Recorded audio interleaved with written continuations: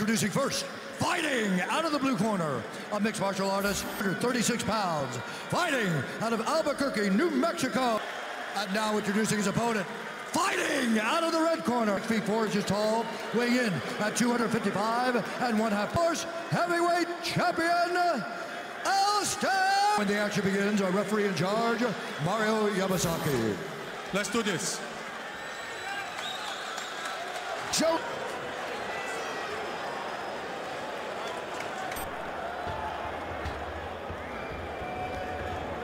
Knees of Overeem are one of his best weapons. So much so they can smash you with knees. It's really hard. I mean, he just takes it to a whole new level. Some incredible ability to cover distance. And that body shot knee by Browne. Browne looking to swing. Alistair's got Browne has to separate the hands of Alistair, and he does. Serious trouble. Travis got to get out of there. He's got to get out of there or the fight's getting his knees. Oh, knee to the head there, Travis Browne. That's illegal. All sorts of ferocious knees to the body. And the referee certainly giving Travis Browne the benefit. Look at Travis fighting back. Another knee to the body. And Travis still fighting back. In just a short amount of distance. He certainly wasn't looking for a way out. Beautiful elbow. Already 23 kicks and knees. Lost the position though. And a big deep breath.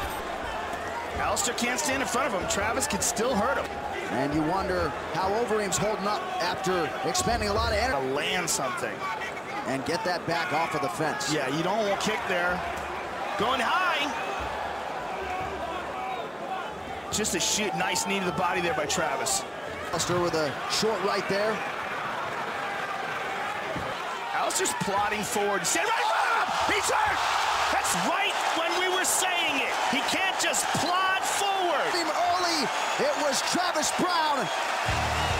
Came exactly as we were saying because Alistair's plotting forward and some Travis Browne, and he got nailed for it. Travis hops for the win. What resolve from Travis looks seconds away from his second UFC victory. Has called a stop to this contest at 4 minutes, 8 seconds of the very first round. Round! Behind victory, 99.9% was going through your mind, and how did you persevere? Hey, let me tell you something. Minutes longer. That's it. Y'all the same. This fight was for you. To you. I love you. There's a nation undivided right here. Going through your mind. Holy heck. Man. And he hit me with a couple of those body shots. That's what put me down. Mario was sitting there saying, move.